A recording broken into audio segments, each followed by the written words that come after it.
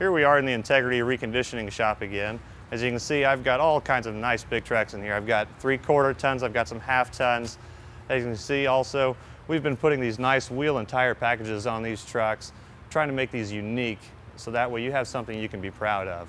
Like we do with all of our vehicles here, we've been checking over the engines and transmissions, the brakes, the suspension. We're trying to make sure all these vehicles are good and ready to go out and work just as hard as you are. We go through and we put at least 100 miles on every single one as we recondition them.